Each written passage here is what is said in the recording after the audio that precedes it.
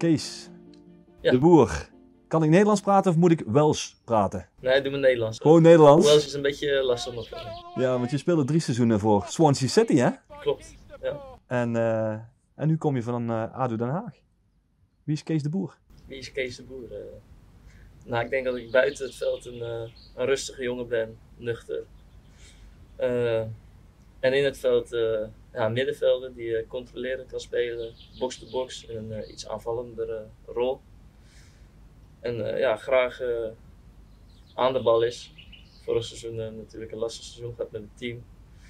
En veel achter de bal gerend. Maar eigenlijk hou ik ervan om met het team aanvallend te spelen. En het team naar voren te helpen. En ja, het liefst wat goals mee te pikken en assists te geven. Als ik jou vraag wat jouw specifieke kwaliteit is, kun je daar een antwoord op geven?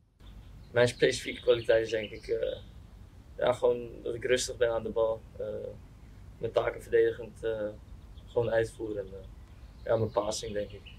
Overzicht, Overzicht, ja. assist geven. Dat is de sterke, zijn de sterke punten van Kees de Ja. Boer. Dat denk ik wel. Hey, vorig jaar, je zei het al hè, je kwam vanaf van ADO af. Ehm, daar degradeerde je mee, net zoals ja. VVV is ook gedegradeerd.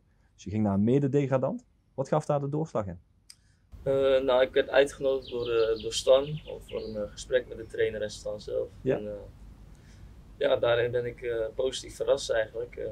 De dingen die ze zeiden en die de, de trainer zei, ja, die bevielen mij, om, om het zo maar te zeggen. En, Kun je daar iets over zeggen? Jawel, het persoonlijke verhaal van mij, dat ze veel vertrouwen in mij hebben en ja, dat ze hopen dat ik eh, belangrijk kan zijn voor het team. En, eh, en natuurlijk, eh, ja, de trainer wil aanvallend voetbal spelen, het liefst op de, de helft van de tegenstander. En ja, zoals ik net al aangaf, dat, daar hou ik zelf ook van. En ja, ik was blij om dat te horen. Je bent hier naartoe gegaan met waarschijnlijk een, een doel ook voor jezelf. Wat is dat?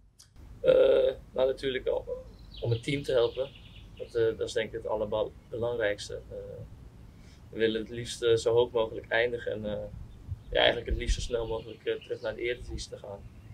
En eh, persoonlijk om eh, ja, eigenlijk alles te spelen, het liefst zoveel mogelijk. En eh, ja, het, eh, een paar assists en wat goals te maken eigenlijk. Eh, misschien simpel om te zeggen, maar Ja, die noteren we vast. Dat staat nu bij deze natuurlijk eh, hè, vast. nou prima. Ja.